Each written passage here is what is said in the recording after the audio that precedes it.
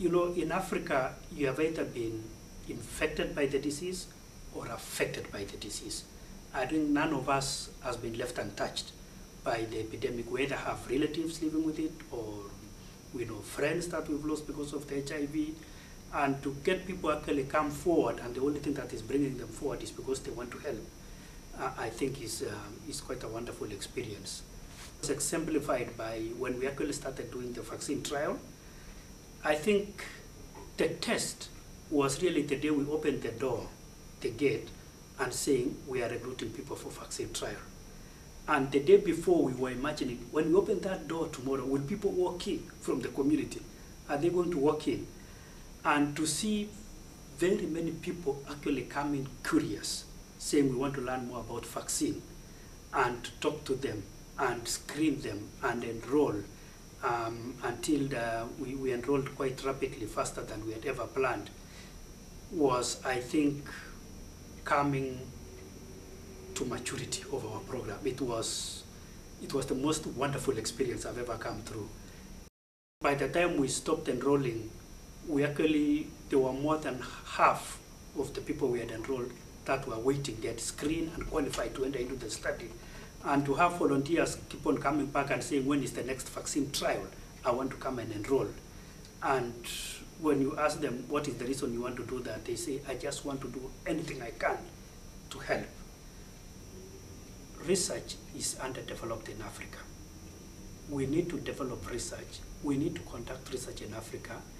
As far as the HIV program problem is concerned, I think Africa has the opportunity to contribute towards the solution to the problem. But over and beyond that, I think it's a win-win situation. Research improves the infrastructure for care and treatment and prevention of HIV, while at the same time, the research scientists are able to answer the questions that they need to improve on care of and prevention of HIV. So I think research leads to sustainable healthcare in Africa uh, through transfer of technology, through building capacity, through trainings, and that spills over into the larger care and treatment program. When I look at the transformation Kericho District Hospital has undergone in the last eight years since Walter Reed Project came, and compared with the transformation it underwent for the past almost 30 years of its existence, it has been tremendous in the last eight years. And most of it is because of the collaboration with the research activities of Walter Reed. Somewhere after we started the work, a new angle came in, and that is the care and treatment program that was brought by the President's Emergency Plan for, for AIDS relief. I mean, to be able to have something that is going to turn a disease that was devastating into a disease that you can live with is beyond my wildest dream at that particular time.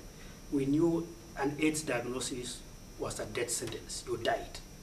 To be able to go back and tell people that you don't have to die um, was, was unimaginable. And it's been a miracle to be able to do that.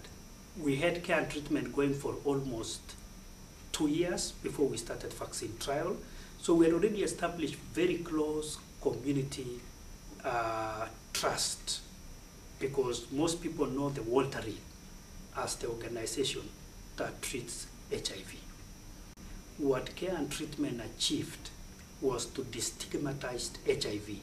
Suddenly people were willing to come forward for testing. They were willing to talk about HIV because if you found that you have a disease, care and treatment was available. So it was no longer a death sentence. You know, at the end of the day, we are all the same. We all want the same thing, we work for the same things, and we have the same capacities. What sometimes lacks is the opportunities to be able to prove that. And from the very word go, we wanted to project the Kericho program as a Kericho run program by the Kenyans for Kenyans. We know we contribute towards the larger scientific question. We are part of the human race and we share the same problems. But I think it is very important for the public to be able to actually see that the program is run by the sons and daughters of the communities that we are working in.